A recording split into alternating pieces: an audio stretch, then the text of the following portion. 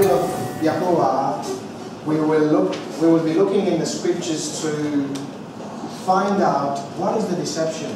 In the last few months, I have been uh, thinking and praying and studying about this topic of um, deception, what deception looks like, especially in the last days, because the scripture tells us that deception will be in the last days. And uh, what is the deception? Today we'll, we'll be answering some questions, not all, not all the questions, but some questions in regards to this topic. So let me pray first and then we'll dive into the topic. Father, we know that we are nothing without your wisdom. We, we understand nothing. If the Holy Spirit does not enlighten our minds, we cannot understand anything. So we give you praise and honor and glory for the wisdom that you have bestowed upon us through the scriptures by the Holy Spirit, and that in the truth we can find the standard for the truth, and we can we can know for sure whether we are deceived or not.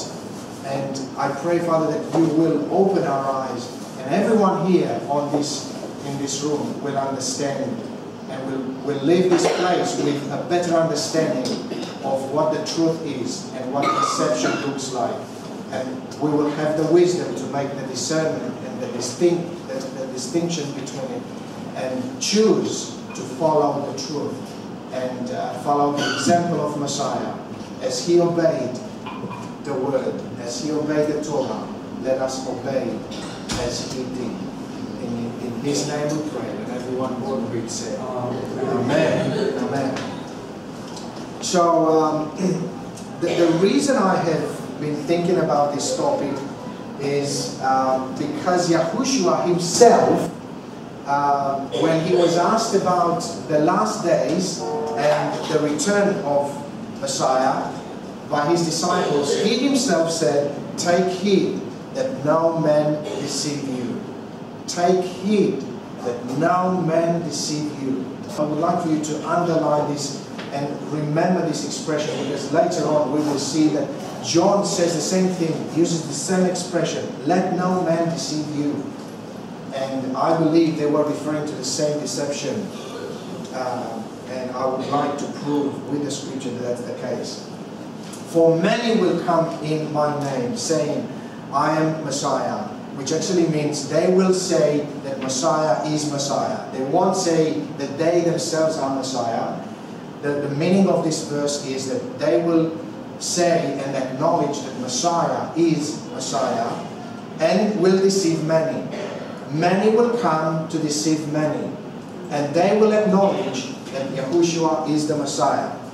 And in verse 20, 24 he says, for false messiahs, this is a different, the, the different things, False messiahs and false prophets, two different categories of people.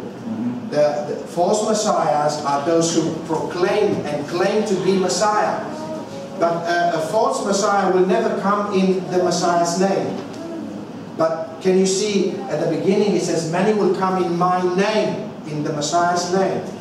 So if, if they will come in Messiah's name, they can't say they are Messiah. Because people say, well, you make up your mind. You either come in his name or you are his, him. Okay? So but the false prophets will come, and many other people apart from the false prophets.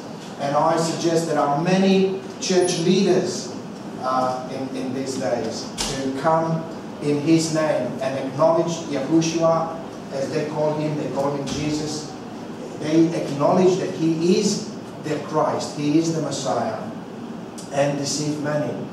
And He says, these messiahs, false messiahs and false prophets will arise and show great signs. Okay? And, and we, we, uh, we witness these, these days some people who pretend to make great signs and wonders. So much so that if it were possible, they would deceive even the elect. And I would like to suggest to you that in the months and the years to come, these people, false messiahs and false prophets, will arise and they will perform many other miracles and wonders and uh, uh, we would say, wow, this is, this is amazing. And people will wonder to, to them and, uh, at them and, uh, and many will be deceived. And I would like for you to see here in this passage that even the elect are target to this. Okay? Even the elect. And the elect, you have to acknowledge, elect are only a few. Because Messiah said, only few go on the narrow path. And only a few find, find it, find the narrow path and enters the narrow path. And they are the elect. So if, uh, the uh, Messiah says that if it were possible, if it were possible, so even the elect would sort of um, be tempted to, to be deceived. Now, this in itself, the fact that Messiah warned us and he left us these words, and we have these words recorded in the, in the Gospel, this in itself is enough reason for us to ask ourselves, what is the deception? How can we make sure that we are not deceived? And I would like to submit to you and I would like to share with you the fact that I myself was deceived. Those who do not know me, I grew up in Romania. I was born in Romania in 1969. I grew up under the, the communist regime for 20 years. Uh, when I was 20, we had the revolution in Romania in, in, uh, in December uh, 1989. And um, during this time of under communist regime, I grew up as a Christian, as a believer. Uh, my family uh, and, and, I attended a Baptist church, and uh, the church that we were part of, especially um, since my uh, my teenagehood, it was an underground church. Okay, uh, which means it was a church that was not permitted, did not have legal permission by the government to function as a, as a church, as a um, community of believers. So um, we, in that regard, we were, the church was a, an underground church. For me, faith was a very serious matter. It was a matter of life and death, always. I grew up with the mentality that if I have to die for what I believe, I wouldn't have a second thought about it. I would put my life on the line because I believe that what I was taught was the truth. I would die for what is the truth. Okay? Two years ago, when, when I uh, started to do some research, further research into the scriptures, prompted by some questions, some people asked me a few questions, and, and I had the desire to find out how much of the things that I believed and I received through the theological training uh, was true, how much was true, and how much was tradition, how much was man-made, okay? How much was Bible, was scripture, was the commandments of Elohim, and how much was man-made. And I was so um, disappointed to find out that a lot of things that I believed and I practiced as a believer was not true, was man-made tradition and, man-made religious laws.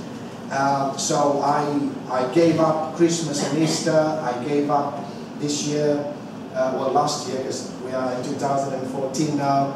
I gave up Sunday worship at all. Uh, and I, I believe that if I am to worship Him with my brothers and sisters, I am to worship Him according to His uh, uh instructions. Uh, he, he did, I believe He did not give us the freedom to choose what, what way we worship Him. He gave us instructions, clear instructions, and we either obey Him or we disobey Him. And that's our choice. And once we choose something, we are accountable to Him and we will um, uh, suffer the consequences. So, the reason I'm, I'm, I'm, sharing with you this is because I would like to uh, confess to you that I was a deceived pastor for 20 years as a, as a Baptist minister. I ministered 8 years in Romania, 12 years in Australia. And some things that I uh, preach, I'm so ashamed of these days. I would go anytime to uh, tell people the truth if they would accept me, if they, if they would uh, allow me to, to, to share with them. Uh, but I would like to uh, to tell you that they won't they won't allow me to to share what I believe is the truth. And uh, I confess that I was deceived, but at that time they didn't consider me deceived. But now they consider that I am deceived. And I know that I was deceived, and I would like to submit to you today, and I will show with the scripture why. Because obviously, if I was deceived for 42 years, why should I expect that today uh, I'm not deceived? So the very reason, a biblical reason, I believe I'm not deceived today, I will show you through the scriptures. So you will find out, and you can know for yourself whether you are deceived or not. I believe there is an answer through the scripture. What is the deception? And, and what it means to be deceived. And we can know. We can know. Some people say, well, we can't. Other people say, no, we, we know that we're not deceived, and we know we're not deceived because everyone else believes like us. And I used to believe like that, and, and I'm saying, no, no, no. So today, I believe you will, uh, uh, my hope and my prayer is that you will get some answers um, to this question of what is the deception. So what it, what it is, uh, I put from the from uh, from the website a couple of uh, definitions. The act of making someone believe something that is not true. The act of deceiving someone. That's the, the, the deception. An act or a statement intended to make people believe something that is not true. Um, a lie believed to be true. I like this one, it's simple. A lie believed to be true. Um, Deception is the hiding or distorting of the truth. Now this is not my definition. This is a definition you find in, in your, uh, on the website, on a secular website. This is not like a, a, a, uh, any faith-based uh, definition.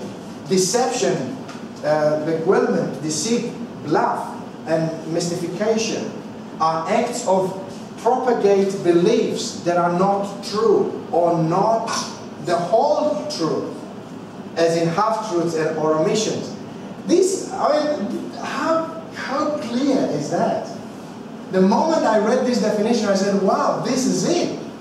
Because a lie or a deceit is not only a full lie.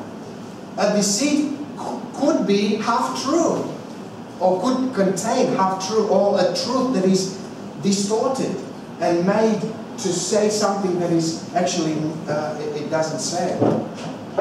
So, in the whole process, what we have here would be uh, we have the deceivers, we have the deception, obviously, and we have the deceived. And and I, I have been thinking about this, and I would like to suggest to you there are two types of deceivers. There are deceivers who know the truth, and there are deceivers who do not know the truth. Those who know the truth, they are intentional deceivers, which means they deceive with intention. Those who do not know the truth, but they believe the lie that was told, that they, they were told, and believe it is true, if they pass it on to others, they become deceivers, obviously. Okay? So if I believe if you tell me a lie and I believe it's a true, it's, it's true, and uh, it's truth, and, and then you tell me it's truth and I believe you, and I pass it on to others, you deceived me, you know it's a lie, but you, you deceived me intentionally. But if I believe it, and I believe it's true, and I pass it on to others, I become a deceiver, and an unintentional one. Are you with me? Yeah. Okay? And to be deceived implies that you don't know the truth. You don't know the truth. Uh, well, and, and this applies to those who uh, are intentional deceivers, unintentional deceivers. Those who do not know the truth. Because if you know the truth and you, you cannot be deceived, okay? You can only be deceived if you do not know what the truth is, you believe that a lie is the truth. Okay? Then you are deceived. The moment you know the truth, and I would like to warn you today, you will find out the truth today from the scriptures, not from me. Okay? You, and you have to make up your own minds. And if you did not know the truth, if you were deceived, and today you find out the truth, then you will, you can't be deceived anymore. You, you will have the option to do something about your deception, your, your past deception, or you can stay and believe a lie to be true. To be true. And uh, that's your option. Okay? So, we definitely know who is the father of deception or the father, father of lies because Messiah himself said about the devil, he was a mother from the beginning and he does not stand in the truth because there is no truth in him. When he lies, he speaks out of his own character, for he is a liar and the father of lies. Okay? The, the devil is not an unintentional deceiver. He is an intentional deceiver. He knows the truth, but he, uh, he prefers to believe the lie and to promulgate it, to send it, to, to give it to others. Uh, he is the father of lies. But those who proclaim the truth, or they pretend to proclaim the truth, those who are deceived today, who do not know the truth, they just pass on a lie, they believe it's the truth. Okay? And the, the proof for that is this passage in 2 Timothy chapter 3, verse 12 and 13.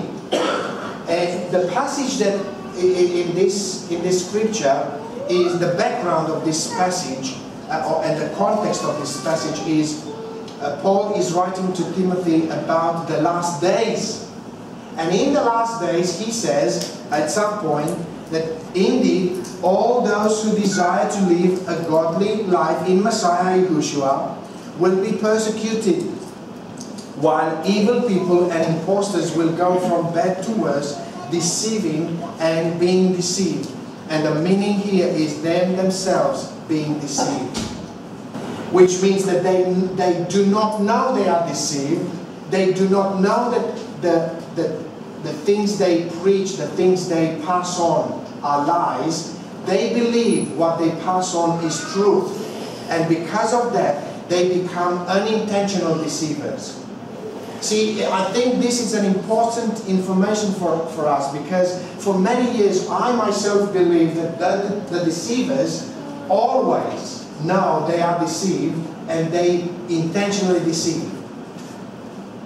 Now, and I tell you, I couldn't accept that my pastors, my teachers in the theological uh, training were uh, deceivers with intention to deceive. I couldn't because I saw they were sincere. They were very sincere. I was very sincere myself. How could I say that I am a deceiver? I could not have said that because I, I knew, I, I said I am very sincere. The fact that someone is sincere and sincerely believes a lie to be true, it doesn't make him, it doesn't make him not a deceiver.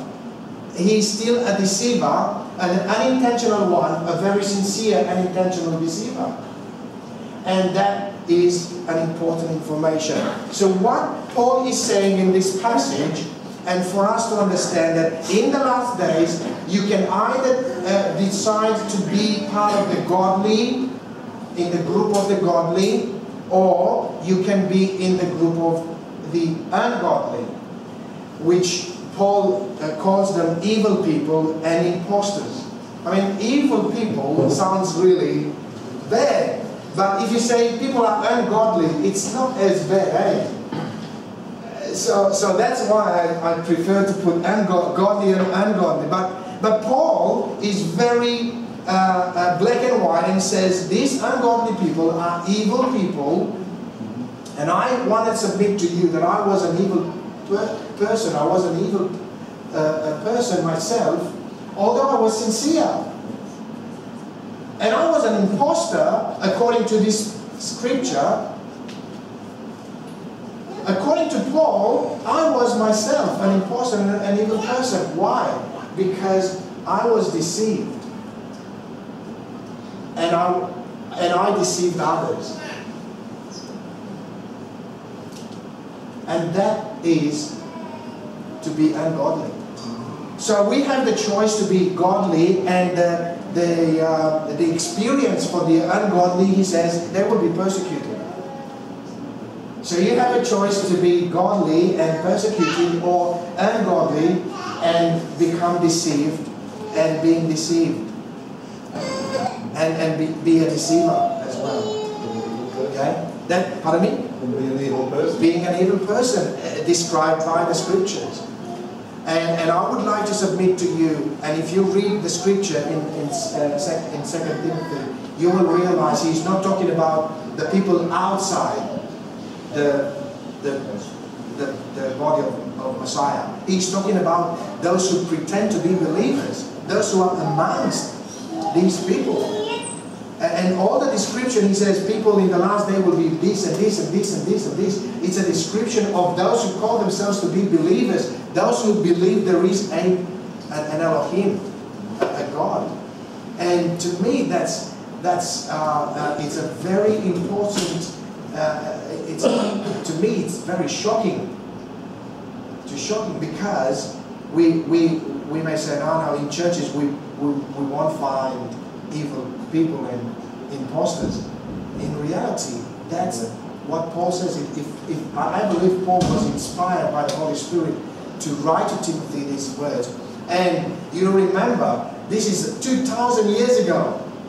And he was talking about the last days. And, and we are in the last days. So if they were in the last day, how much more we are in the last days? And we find this.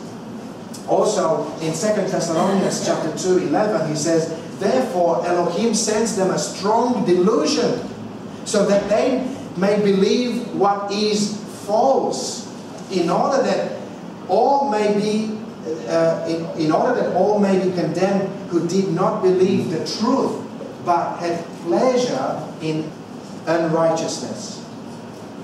They did not believe the truth, and the truth is the word, Torah. If, if they did not believe the Torah, but they loved and had pleasure in unrighteousness, which is opposite, opposite to the truth, opposite to Torah, it says that Elohim himself sends them a strong delusion, a strong deception to believe uh, that they, they believe, they believe uh, what is false, what is a lie. Now, how, how do you come to terms with that?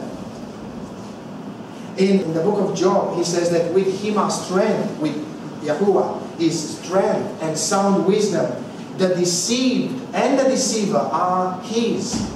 Now, some translations change this because that sounds like uh, he has the control of everyone and he sends some. And I believe it's true. I mean, we have in, in First Kings and in Chronicles a situation when uh, Yahuwah himself sends a, a spirit of deception to all the prophets to prophesy falsely to the king to go into war.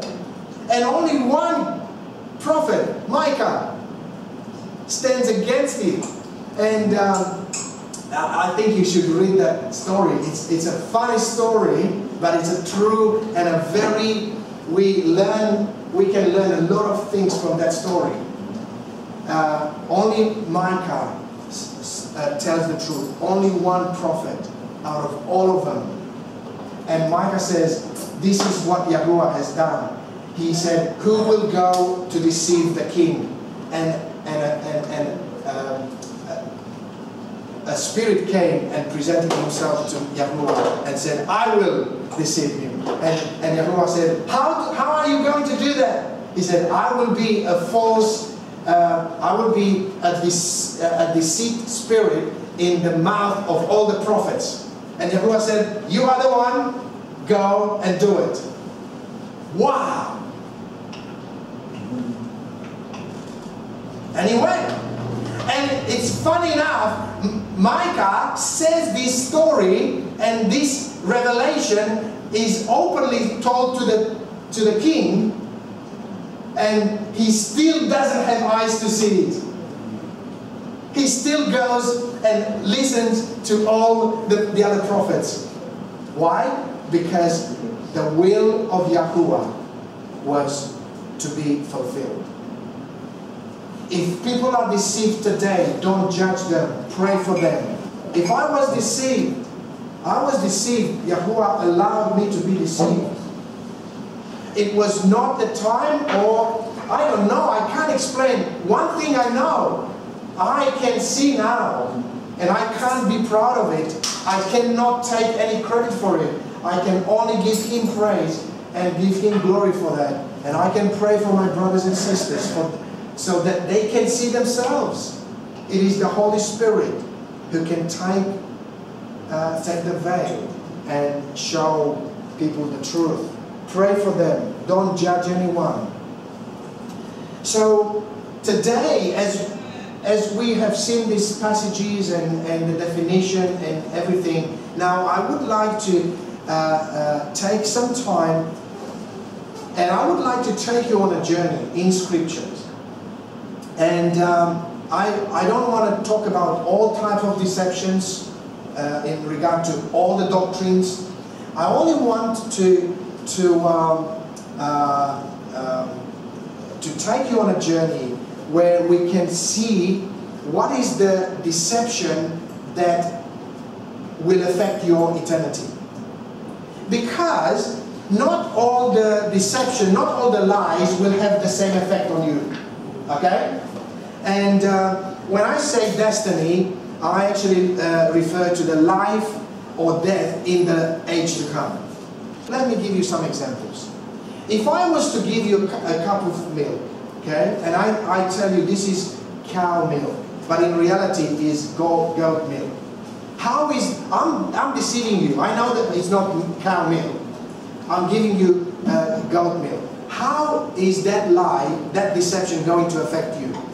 Not much, okay? Unless you have you you have some uh, some allergies to goat milk, then you know that there can be some some problems there. But and you know, if you have no allergies, you drink, and you, if, especially if you have never drink cow milk before, you drink it, you don't know it, you don't know the difference. You, you know, it's not going to affect you. But if I told you that the law of gravity has absolutely no effect on you, and I tell you, don't believe because you are not under the law of gravity anymore. Okay? And you believe me, and you go and you jump from the airplane. Because you think the law of gravity is not going to affect you. You're not under that law anymore. Okay? How is that going to affect you? Okay? Don't even imagine, don't try. Okay? If someone tells you don't obey the law of gravity, I would suggest to you, strongly suggest, don't believe that person. Because the law of gravity will stand until Yahuwah will decide that he will make a change in regard to the law of gravity. So, Today I would like to share with you a deception, a lie that has to do with your eternal life, with your salvation, with justification, with righteousness. And I have, uh, I, you know, I, I want to do that because I know how the deception looks like today. I have studied theology I know what the systematic theology says in regard to salvation, in regard to having eternal life, how you get eternal life. I know what systematic theology tells us about justification, righteousness. And I would like to submit that they tell you half truth. they tell you the truth, this systematic theology tells you a truth that is distorted. Because although they acknowledge uh, that salvation is by grace through faith, they do not define faith to be faithfulness. They define faith to be belief with your, with your mind that Yahushua, or they call him Jesus, is the Son of Elohim, the Son of God, and he died on the cross. Absolutely true facts, absolutely true. And, and he died that you will receive forgiveness, and through his sacrifice, you can have eternal life. I believe there is truth in what they say, but they don't uh, define faith to be faithfulness, which in, involves obedience. And because of that, that's the deception. That's what it, the deception lies. Okay? Let me take you straight to where Messiah himself answered the question what to do to have eternal life. Because uh, when um, a man came to him, and he, this man was sincere, this man did not come to Yahushua to test him. He was sincere, he was genuine, he wanted to have eternal life. And he said, Teacher, what good must I do to have eternal life? And he said to him, Why do you ask me about what is good? There, there is only one good. Now, if you read this in, in, uh, in uh, King James translation, you will find a totally different uh, translation into English. It sounds like, what shall I do to inherit eternal life? And he said to him, why do you call me good? Messiah, oh, this person did not call Messiah good. He said, what good shall I do to inherit life? okay? And I would like to suggest to you that the manuscripts that King James Version uses are not the right manuscripts. If you go with the NU manuscripts, if you have a New King James Version, in the New King James Version there is a note down the page and says the NU manuscripts, which are earlier manuscripts, do not have this. And they, they put what is, the, what is in the NU manuscript. And I believe this translation, which I believe it's International Standard Version, uh, if, if I'm right, it could be International Version Standard, is quite right in this passage, you know, in regard to this passage. And it said, why do you ask me about what is good?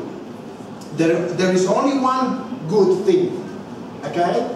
In, Messiah is not referring there's only one good, and in King, King James translation said, God is good, Elohim is good. That's not what this passage is about. Okay? So some people uh, took the, you know, their own uh, power and, and authority to put words there to make the passage you know, look like it's not. Okay? Because it only makes sense. This person says, uh, Teacher, I want to know what shall I do to, to inherit life, eternal life. And Messiah gives him the answer. So if, if you read the other translation, you, other translation, you will understand it, it doesn't make any sense. He says, if you would enter life, other translation says, if you will to enter life, keep the commandments. Keep the commandments to have eternal life. I mean, go in, into the ch into churches these days and tell the pastors to preach if people want eternal life, let them keep the commandments. They say, no, no, they have to believe in Yahushua. Well, and then, and then they have to say, okay, why on earth Messiah told this person to keep the commandments in order to have eternal life? Do you know what they will say? They have the answer. Messiah answered him under the old covenant rules. Because Messiah did not die yet. He was not resurrected. Yes! They said, we have the answer. No, you don't. Messiah did not say, until I die, you keep the commandments. Afterwards, you just believe. No. That's the deception. Be, yes, you believe. It's true, you have to believe. But what is belief? If belief means faithfulness, follow Him and His example of obedience. Yes, that's the faith. That's the faith. That's why the apostles, every time the apostles in the in the book of Acts, when they were asked, "What shall we do?"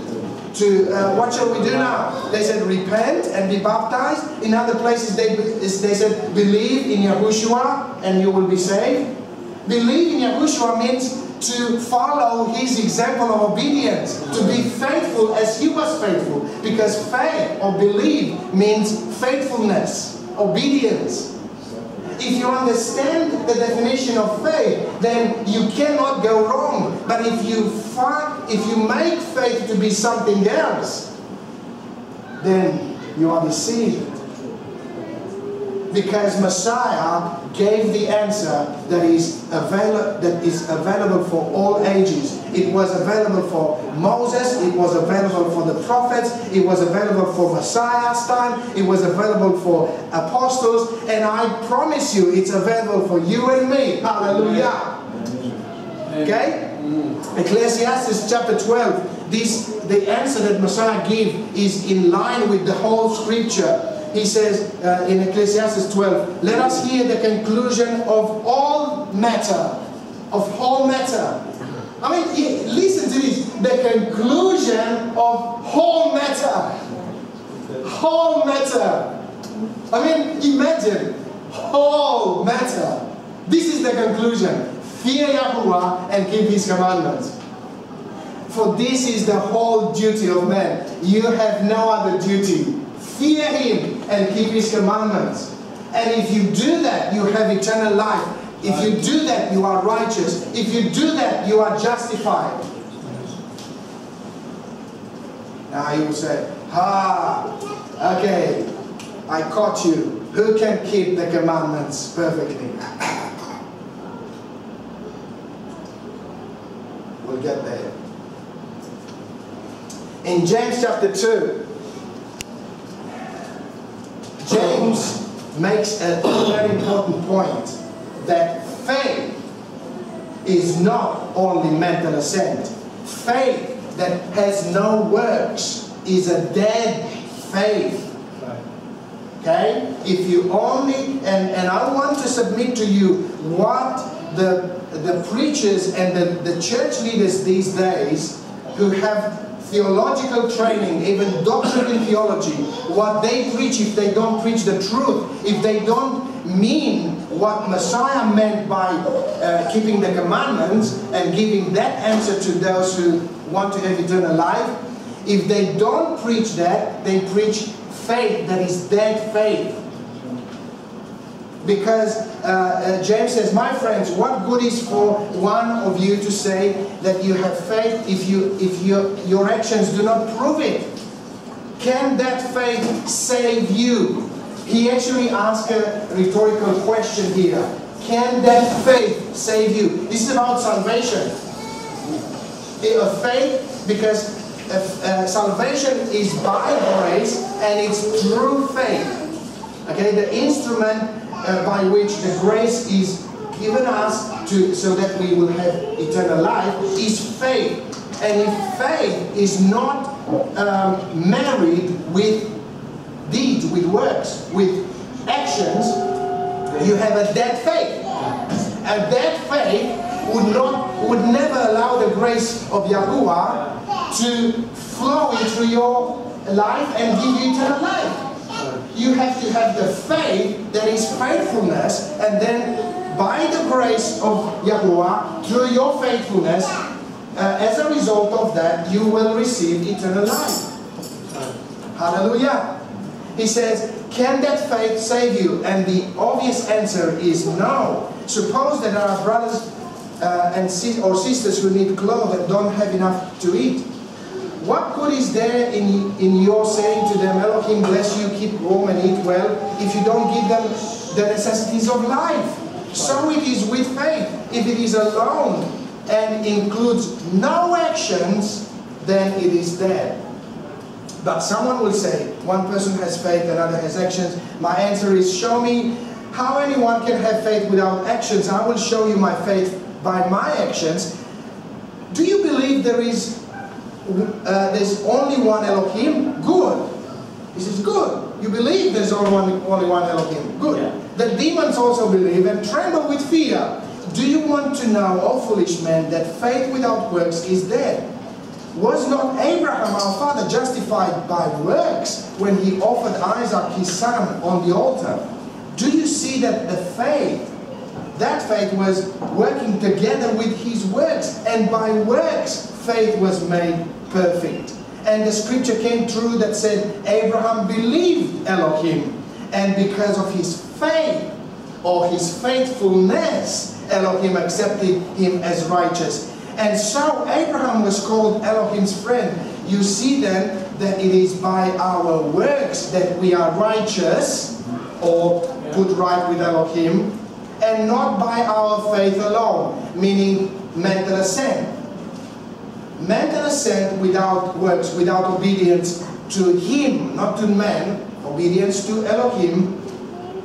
Faith without obedience is dead faith. It doesn't save. It's about being righteous. It's about being put right with Elohim. You cannot be put right with Elohim if you do not obey Him, His commandments. It's your duty, it's my duty. Because we are human beings, we are men, we are people, and that's our duty. Now, let's go closer to, to what First John says in regard to deception this time. I write to you these things about those who are trying to deceive you. So John says there are those who want to deceive you. And I'm writing to you because I know there are people. So obviously he intentionally wrote to these people to warn them and to tell them, be careful, this is the truth, and not let no one deceive you. Okay? If you know that he, Messiah, is righteous, you may be sure that everyone who practices righteousness has been born of Elohim, of him. Okay? Anyone who practices, not everyone who believes Yahushua died on the cross with their belief with, with your mind. You can even say it with your mouth. You can believe it in your heart. If you do not obey the commandments, it proves that you actually don't believe. You have to believe with your mind. You have to believe with your heart. But that's not the end of the story. That's just the beginning of the story. You have to prove your faith in Messiah. If he is the Son of Elohim, if he is the Messiah, then follow him. Do what he said. Do what he did. Okay, you, you probably remember about the in the in uh, uh, early 70s or late 70s. Uh, it was a, a movement. What would Jesus do? Yeah. Okay, okay, and you know these days you find uh, yeah no, these these things uh, all you know. The real question is not is not actually what would Jesus do. The real question is what did Yahushua do? what did he do? Because he would do today what he did then. He would obey the commandments, he would obey the Torah of Moses given, you know, the command, the, the Torah given through Moses. It's not Moses' law, it's not Moses' Torah, it is, is Yahuwah's Torah given through Moses. And he was faithful to the Father in everything. He did not, he did not break the Torah. So if he didn't, and he's my master and he's my example, why should I break it? Why? Just because some people say, ah, you don't, you don't actually have to do all the commandments, you only have to believe in Yahushua. No, no. Is that enough reason for me to disobey because someone tells me, ah, you know, I'm off the hook and I can just chill out, relax? No. Let no one deceive you, John says. Why do you think John says this? Because there were people who came to these people, to the believers, John is writing to, and said, Look, guys, Messiah died. He fulfilled the law. You don't have to do the righteousness. He did it for you. And guess, the same teaching is today. Yes. It's true. Okay? And John says, John, man, let, let no one deceive you. If, and this is not the only place he's uh, actually uh, writing about this. In chapter 3, verse 7 and 8, he says, Little children, let no man deceive you. You remember uh, I said at the, at the beginning, Messiah said in Matthew 24, Let no man deceive you. John says the same words. Let no man deceive you. He, had, he that does righteousness is righteous even as he is righteous. He that commits sin, which means breaks the commandments or some of the commandments, because it's, it's enough for you to break one of the commandments, every breaking of the commandment is sin. He that commits sin is of the devil. Why? For the devil sins from the beginning. And for this purpose the Son of Elohim was manifested, that he might destroy the work of the devil. What is the work of the devil? Sin, breaking the commandments. What is the, the, the work of the Messiah came to, to, to accomplish? We keep the. To keep the commandments, to destroy the work of the devil, so that people would not sin, people would not break the commandments anymore. I mean, how sim, you know, how much simpler than that? You, you cannot get simpler than that. Okay? So let's see, according to what John de- uh, and, and, and how John defines this, what does righteousness mean or practicing righteousness mean? I suggest to you that he is referring to righteousness and doing righteousness to be walking in obedience, being faithful to Yahuwah's commandments. Because sin is breaking Yahuwah's commandments, it's lawlessness. And he clearly uh, says that in, in chapter 3, verse 4 to 6. Everyone who practices sin, see, uh, uh, in, the, in the previous text, he said, Those, uh, he who practices righteousness is righteous. In this passage, he says, He who practices sin also practices lawlessness. It's, it's the opposite. You can practice righteousness, doing the Torah, obeying the commandments, being faithful to Yahuwah and loving Him with all your heart, or breaking the commandments, which means you practice sin. For sin is lawlessness. And you know that He was revealed, Messiah was revealed, that He might take away our sins. Take away, depart from us the lawlessness. Okay? Empower us to live by the Torah. And this empowers Satan to keep us in lawlessness. That's, that's the meaning, that's the, the, the very purpose of Messiah.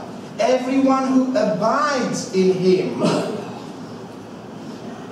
does not break the commandments, does not sin. Everyone who sins has not seen him or known him. You cannot say you know Yahuwah if you break his commandments. You cannot say you are born of him if you intentionally break the commandments. Even if you believe you don't break the commandments because some people say, well, you, you're not bound by this commandment. Like, like they say, you're not bound by keeping the Shabbat or eating um, clean, clean food. You know, uh, you're not bound by the dietary law, so you can eat pig. Okay? The fact that they tell you this, they deceive you, they tell you a lie because it's not true that these commandments are not for you and me. They're for all those who want to be in covenant with Him. If, if I want to be in covenant with Him, all commandments are for me. If I don't want to be in covenant with Him, then I don't have to consider any commandment. Right? Right. So don't let anyone deceive you that you don't have to practice righteousness or you can practice some righteousness but not all righteousness. Because once you break the commandments, you practice lawlessness and that's a very serious matter. Okay? And then in, in 1 John chapter 5, he says, By this we know that we love um, the children of Elohim. Whoever, uh, whenever we love Elohim and keep his commandments. For this is the love of Elohim, that we keep his commandments. And his commandments are not burdensome. For everything that has been born of Elohim overcomes the world. And this is the victory that overcomes the world. Our faith. And I put there in brackets faithfulness because faith is referring to faithfulness. We will overcome the world, the system, the, the, the, the worldly system, the sinful system that is, is, um, is oppressing the, the, the population uh, and the human beings right now. We will overcome it by our faithfulness. Right? People say, well, but no one can keep the commandments. This is one of the arguments that people will tell you. No one can keep the, the, the, the commandments uh, but Yahushua, the Messiah. Well, that's not true. They are not telling you the truth. Let us see both in the Old Testament and in the New Testament people who were righteous because they kept the commandments. This is the first passage in Luke chapter 1, verse 6 is about John the Baptist's parents, Zechariah and his wife. And they were both, both his parents, John the Baptist's parents, uh, uh, they were both righteous before Elohim. This is what the scripture tells, says. They were righteous, walking in all the commandments and ordinances of Yahuwah blamelessly. Wow! Who said you can't keep the commandments, so don't bother? But that, that's basically what they said. No one can keep the commandments, so forget about it. Yahushua has done it for you. Because that's that, they, they, this is what they say, which is a lie. He came, he had to come because no one could keep the commandments. That's not true. They won't keep the commandments. It's not about that Israel couldn't keep the commandments. They won't keep the commandments. They didn't want to keep the commandments. Yahuwah gave the commandments because Yahuwah said you can keep it. It's not burden. It's not burdensome. It is our sinful nature, it is our rebellion against Him that doesn't want to obey Him. And if you live by your flesh, you cannot please Him. That's why in, in, in Hebrews chapter 11 it says, without faith it is impossible to please Him. Without faithfulness, it's impossible to please Him. Without obeying Him, it's impossible to please Him. Let no one deceive you that you only have to have faith here and you don't have to have obedience. Because that's the deception. Without faithfulness to Him, you cannot please. You cannot please Him. You have to have faithfulness. And uh, everything in in uh, Hebrews chapter 11, all the saints that were listed there proved faithfulness. They didn't just, oh, I believe there is an Elohim. Yeah, good on him and good on me. Uh, that's not, you know, Elohim asked them to do something and they did. And because they did, they showed faithfulness. And because of their faithfulness, they were righteous. As simple as that. There's no other way to put it. Okay? So this is one example. Another example in Luke chapter 2, verse 25. And behold, there was a man in Jerusalem whose name was Simeon. And this man was righteous and devout, looking for the consolation of Israel, and the Holy Spirit was upon him. Simeon was another righteous man. Uh, yes, he was righteous. Why? Because it was imputed, the righteousness of Messiah was imputed on him. No! He was righteous because he was faithful and he was devout and, and, and he believed in the prophets that said Messiah will come and will deliver Israel and will re, uh, he will regather the, the 12 tribes of Israel in the Holy Land, in the Messianic kingdom, and establish the kingdom of heaven to earth, and, and Israel will be the light to all the nations. Hallelujah! That is the gospel of the kingdom. Simeon believed that, and he was devout, and he obeyed the commandments. He was a righteous person, even, even before Messiah came. In Matthew 13, uh, it says, For verily I say unto you that many prophets and righteous men desired to see the things you, you see and, and saw them not, and to hear the things which you hear and heard them not. Messiah refers to many prophets and many other righteous people in the past who would have liked to see and to hear what happened during Messiah's time. And he calls he called them righteous people.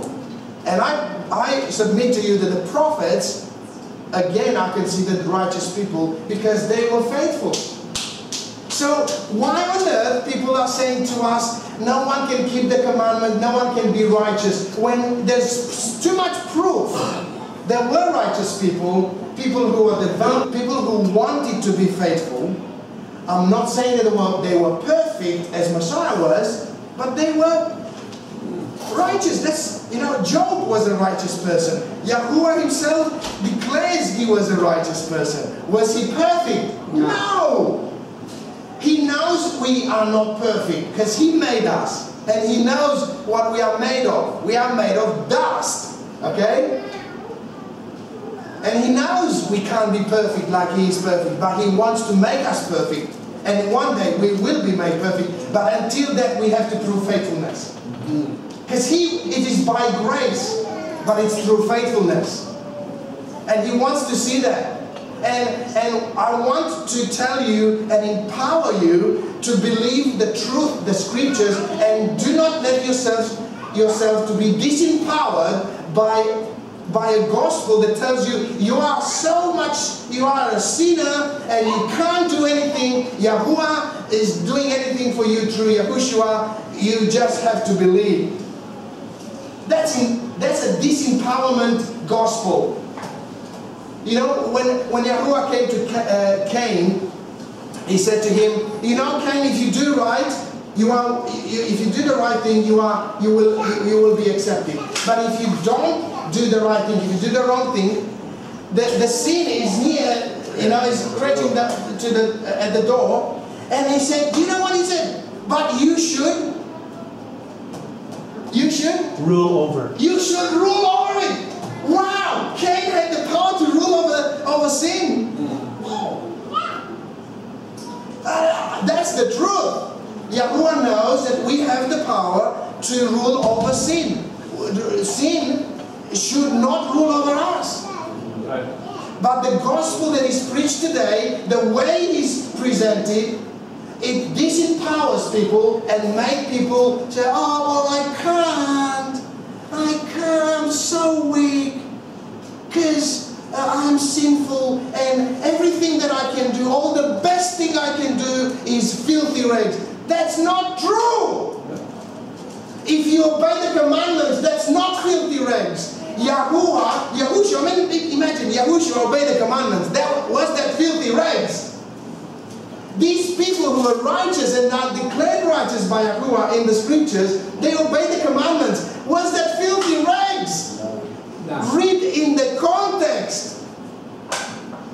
Isaiah is not referring to obeying the commandments of Yahuwah to be filthy rags. It's obeying our own uh, man-made commandments and, and doing our own things, uh, pretending that we obey Him. That's filthy rags. But it can't be filthy rags when you sincerely obey Him with all your heart, you love Him with all your heart, with all your mind. That can't be filthy rags. No way. Don't believe the deception. I, I, mean, I believe that deception myself. I did. And one day I said, it's, wow, how can I reconcile? reconcile this. Okay? So I said it has to be a way to reconcile it. There were righteous people. If there were no, no righteous people in the Old Testament, then why so many Psalms are talking about the righteous and the wicked? The righteous and the wicked. The righteous and the wicked. What righteous if there no one is righteous? Hey! If you read in, in, in the context what Paul is saying in Romans chapter 2, where it says, All are wicked and all are decent, all are this and unrighteous, and no one is righteous, he's quoting from another passage in the Old Testament. If you read the passage in the Old Testament, in the Old Testament is actually a comparison between the righteous and the wicked. Hey!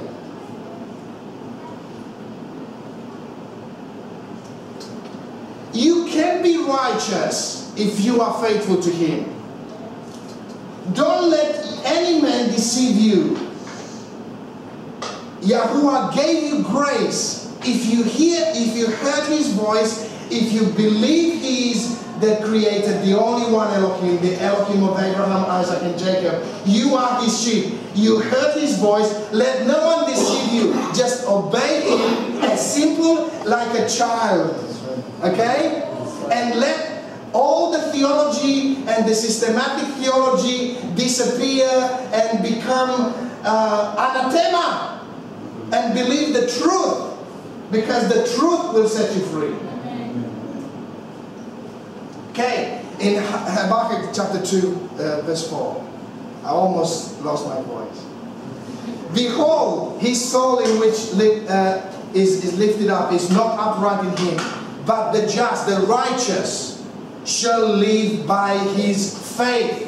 If you look into the word faith in Habakkuk chapter 2, verse 4, the Hebrew word there is emunah, is it? Yes. The word emunah means faithfulness, steadfastness, fidelity. This is just a few meanings of it. It's also in the Torah we come out or come across it. It Moses' hands were held steady, Yeah? His hands were held faithful in one out. Yeah, right. So, so let no one deceive you that faith is not faithfulness. You, you may remember that Paul quotes this in, in the book of Romans. Okay? The righteous will live by his faith. Paul is quoting it from, uh, from Habakkuk. Okay? Paul, it cannot mean, this word faith cannot mean in Romans what it didn't mean in Habakkuk. Hey, it has to mean the same thing. Otherwise, we have a big problem. It's the same meaning, and the meaning is faithfulness. The righteous will live, will have eternal life, and will stand before Yahuwah based, based on his faithfulness. It's true that he gives us the grace, he empowers us. Without his power, without his empowerment, no one can stand before him. But he empowered you, he gave you grace. Don't let anyone change or distort the grace that Yahuwah gave you. And let no one disempower you by telling you a deception, a truth that is distorted or half true. Okay? But you may say, okay, but what about Paul? Because in Romans chapter 3, Paul says, uh, by, because by the works of the law, none of all flesh will be justified in his sight. Okay? Therefore, in verse 28, uh, he says, Therefore we conclude that a man is justified by faith without the works of the law.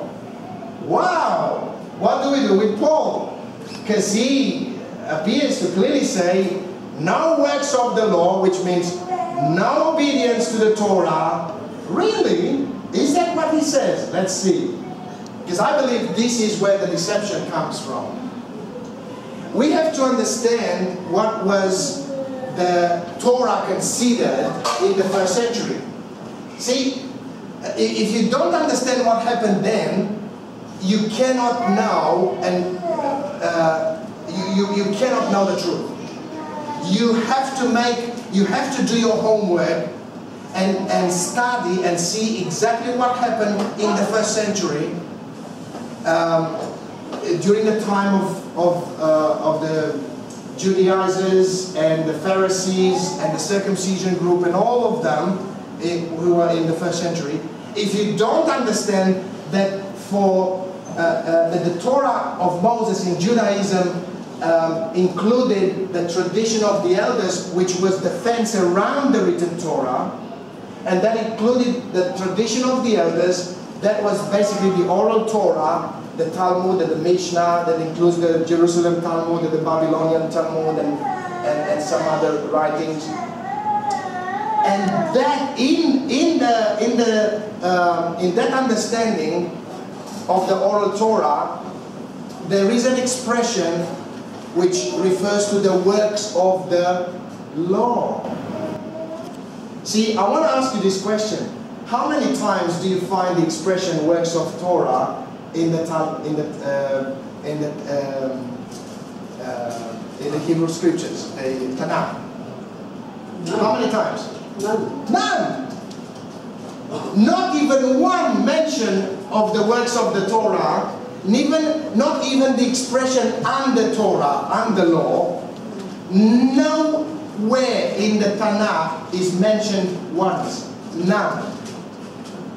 But you find it in the oral Torah, and um, uh, in, uh, I, I didn't know that until uh, a few weeks ago when I read in, into the uh, Aramaic English New Testament. But I tell you, the Holy Spirit told me in my heart, I knew when I studied all these passages, and I said to myself, Father, the works of the law cannot refer to obedience to Torah. It can't. Father, help me understand, because otherwise, what Paul is saying contradicts the rest of the scripture. It appears that he contradicts Deuteronomy, the whole book of Deuteronomy, where Yahuwah says, if, you, if, you, if we carefully obey all these commandments, this will be our righteousness. It will be credited righteousness to us.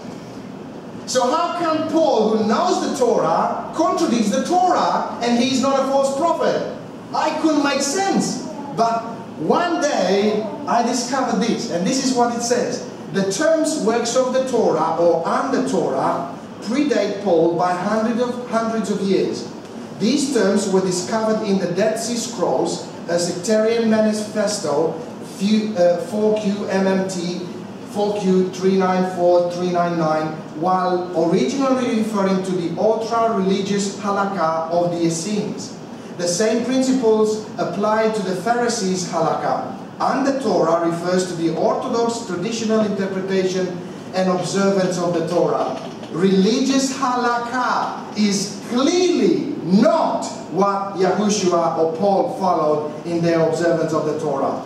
I mean, Paul did follow it before his conversion, but after his conversion, he did not. Okay? And that's why, because he knew that these people, the circumcision group, the Judaizers, the Pharisees, the teachers of the law, they were all going by the tradition of the elders, by the oral Torah, which includes the works of the law. The works of the law has nothing to do with, with the written Torah the commandments, okay? What we have, have written in the five, book of, five books of Moses. The instructions given in what we call scripture, the five books of the Bible, the first five books, they, they include the commandments, the instructions of Elohim. And this written Torah has nothing to do with the tradition of the elders and the uh, halakha of the Essenes and the Pharisees and which includes the works of the law. And by the way, the works of the law are considered by them to be extra. Because they say, Yahuwah that did, uh, uh, you know, never ask you to do these things, but if you do it, you can actually boast about it, because it's not required. The Torah, the Torah is your duty. But the works of the law are not your duty, so you can boast. That's why Paul says, not by works, referring to this, so no one can boast. Well, I mean, can you boast if the Torah, obedience to the Torah, is your duty? Can you boast about it if it is your duty and you do your duty? You can't.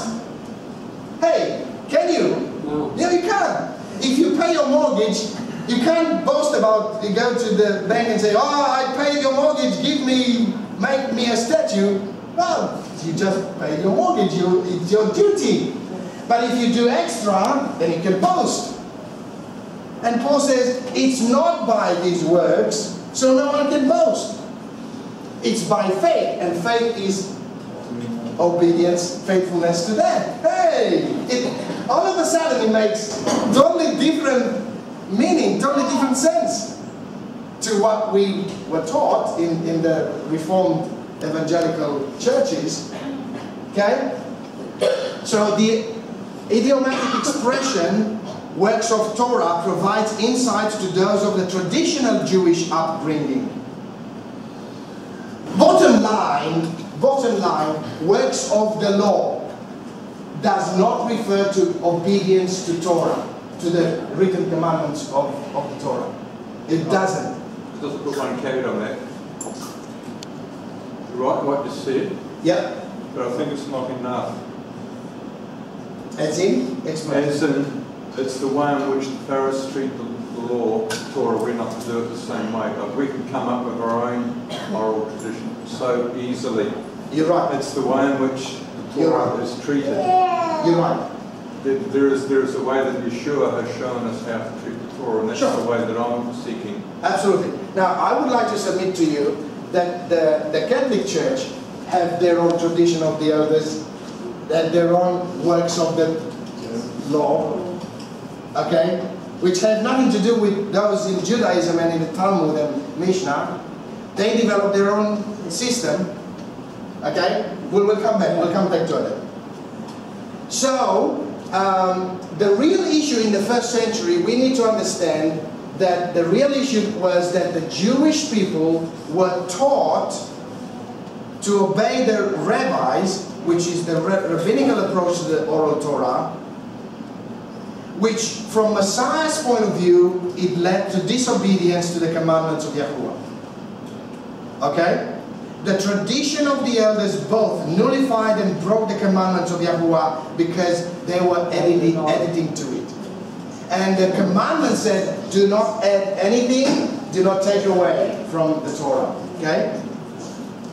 And the, the situation, the real situation was that except a very small minority, people did not live by faith, by obedience to the Torah. Except a few examples, and we saw there were a few examples in, in the New Testament, and probably another few people who were not mentioned in, but except a small minority of people, people in general who lived in Yehushua's time, those who obeyed and learned the Torah from the Pharisees, they did not live by the Torah.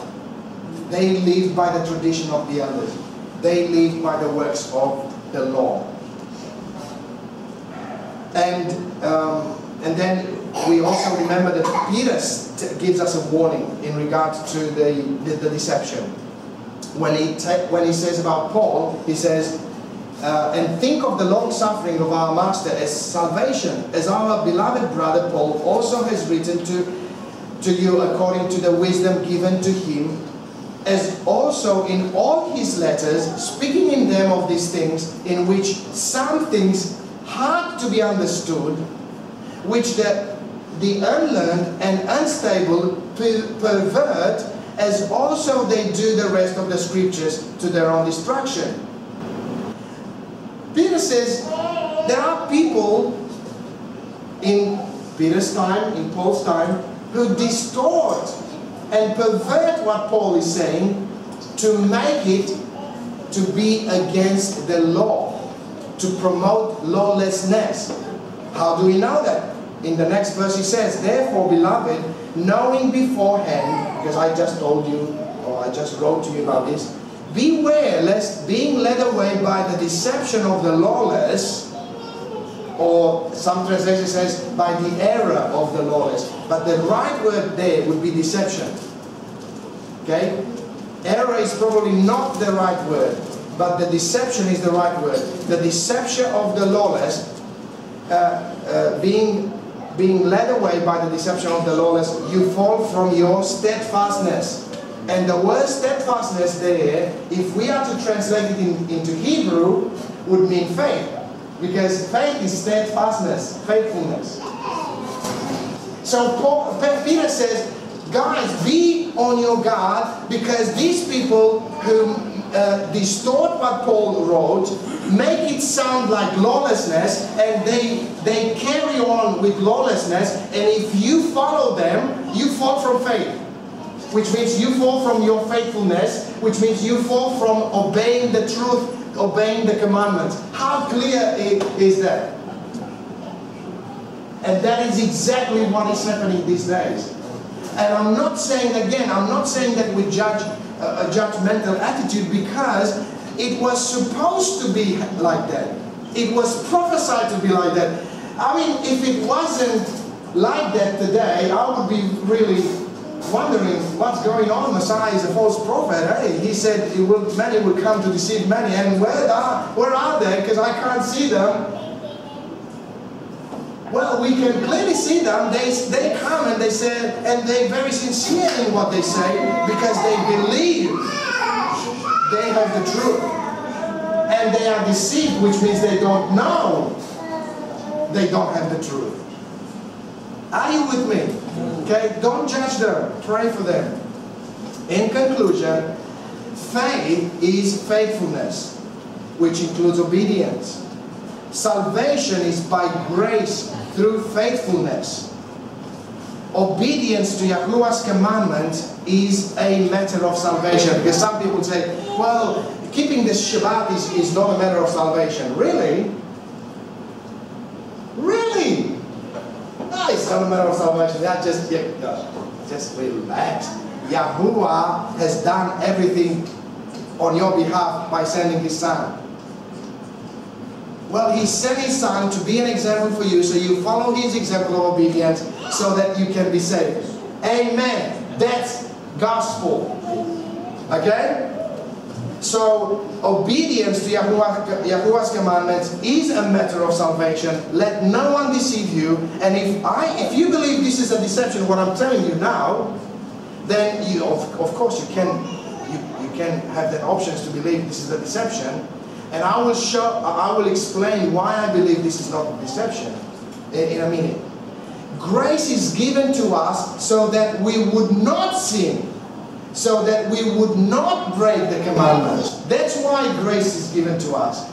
And Paul makes a very, very clear statement in Romans chapter 6. Shall we sin so that grace would abound? He says, no way. Okay? And another conclusion, the Reformation doctrine of imputed righteousness, I don't know how many of you know about this doctrine, but if you know, I tell you, I have studied it and I have put it in all the angles and I studied it from all the possible angles. It is not a biblical doctrine and it is a distorted truth or partial truth, which is basically a deception according to definition. If it's not full truth, if it's not whole truth, then it's a deception.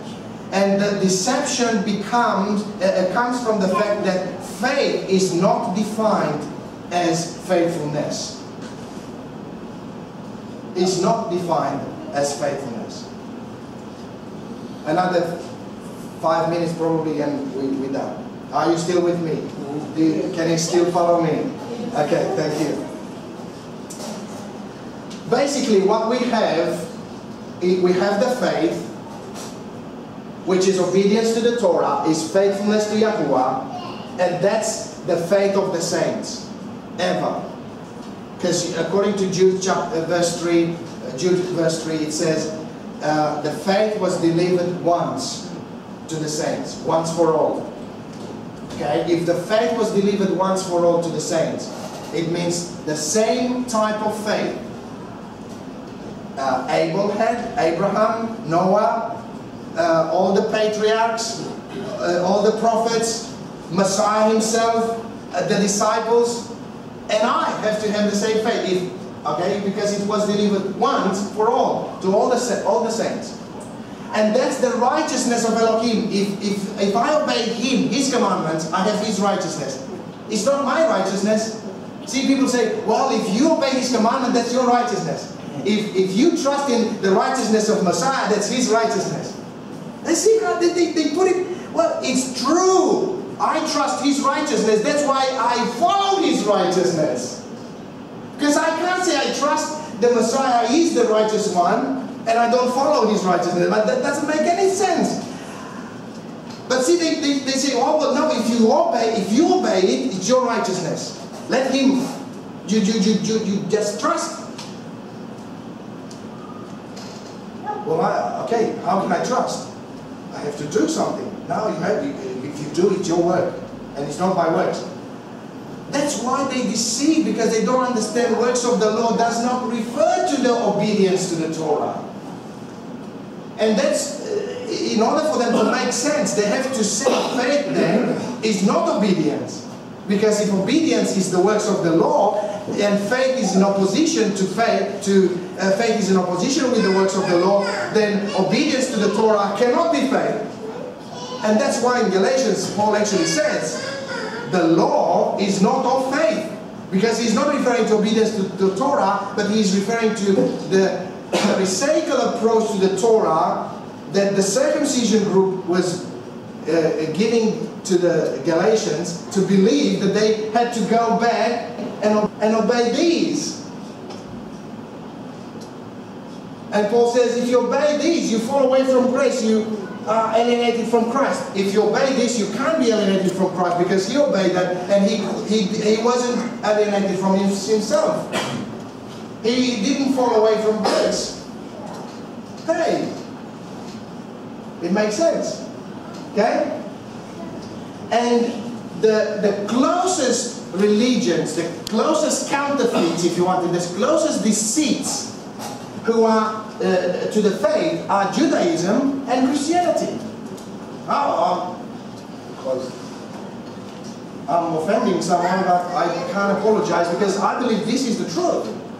If, if, if I don't want to say this because I offend someone, either here or online, uh, then I can't stand for the truth. I, you know, I, I'm not defining the truth faithfully, and I'm called, but as a minister, I'm called to divide the word faithfully, truthfully. And Judaism is a counterfeit as it stands because adds to the Torah and has their own traditions and works of the law. And Christianity takes away from the Torah. I mean, you take away the dietary law, the Sabbath, the circumcision, the, the tzitzits, and uh, the feasts, and then you end up with Christianity. you, you take these few things from the Torah, from the scriptures, and then you have Christianity. And, and, and, if you study uh, what happened in the church history, you realize that those who were anti-Semites took these things away because, and then they said, this is Jewish. Like circumcision, only Jews are circumcised? Really? No. I know lots of Arabs are, are circumcised and a lot of Christians who are circumcised, even without believing in circumcision. Circumcision is not Jewish. No.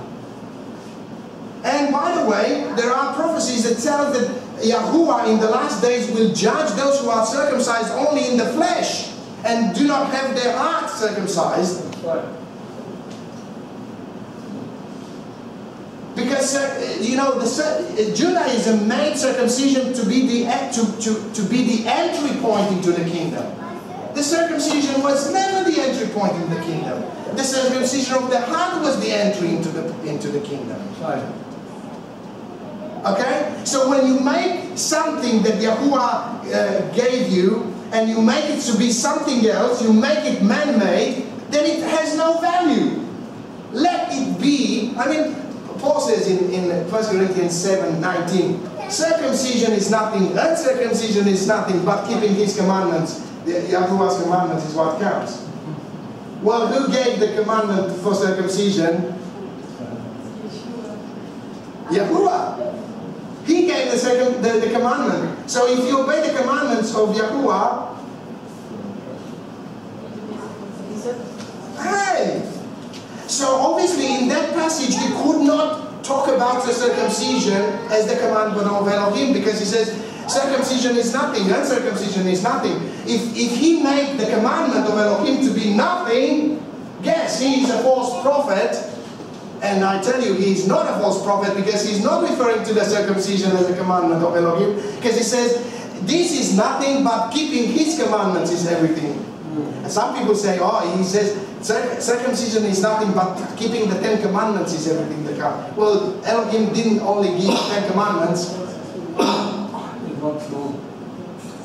If you want to know, he gave 613 altogether, and not all of them are applicable to you, No. and not all of them were applicable to Yahushua. Sorry. It wasn't, because he was not a priest, a Levitical priest. He was not uh, a, a woman. So yes, some commandments were not applicable to him. So let no one deceive you because they, they put all sorts of arguments just to just to throw some sand in your eyes, you know, and deceive you. Don't let anyone deceive you. You just answer to, with this. If I obey what Yahushua obeyed, He is my example, He is my Lord, He, he is my, my Master, He is my uh, Savior, I, I follow Him. I obey only what He obeyed. That's it. Yeah. I don't follow the Pharisees, I don't follow the Sadducees, I don't follow the circumcision group, I don't follow the, uh, the Orthodox Jews, I don't follow the Baptists, I don't follow the Pentecostals, I don't follow the Reformers, I don't follow Luther and Calvin, I don't follow anyone but Messiah. Hallelujah. Amen. It's as simple as that. You cannot be wrong. You cannot be deceived. If your faith practices and your lifestyle in terms of faith practices looks like Messiah's faith practices, you cannot be deceived. Or you can if Messiah was deceived. But if you accept that he wasn't deceived, that he is the Messiah and he is the one to follow, you cannot be deceived if you follow his example of obedience. And I tell you, his faith practices were no different from Moses' pra- Moses' practices, the, the, the prophets' practices, and the disciples' practices, the apostles' practices. They all had the same faith. And uh, because of that, if your faith is the same, then you cannot be deceived. That's the reason I believe today I'm not deceived. Otherwise, I could not be sure. The only thing that I'm sure is because I want to align my faith practices with His. Application. Now that I know the truth about salvation and faith, what now? What now? Uh, Messiah said uh, in, in, in James chapter 1, we saw, but be doers of the word and not hearers only, deceiving yourself. You deceive yourself this time if you heard it and you don't do it. So, in a sense, I am responsible for you. If you deceive yourself from now on, it's my it's because of me. Because I told you the truth, you, you, you heard it. From now on, you, have an, you are accountable. For if anyone is a hearer of the word and not a doer, he is like a man who looks intently into his natural face in a mirror, for he looks at himself and goes away and at once forgets what he was like. But the one who looks into the perfect law, which is this is the Torah, the law of liberty, and perseveres, being no hearer who forgets, but a doer who acts, he will be blessed in his doing. Amen. And Messiah, you remember the, the and I, I will close with this one. Messiah said, Everyone then who hears these words of mine and does them will be like a wise man who builds his house on the rock. And the rain fell, and the floods came, and the winds blow, and, uh, and beat on the house, but it did not fall because it had been founded on the rock. And everyone who hears these words of mine and do, does not do them will be like a foolish man who builds his house on the sand. And the rain fell, and the floods came, and the winds blew, and the beat and beat against the house, and it fell, and great was the fall of it. Amen. Amen.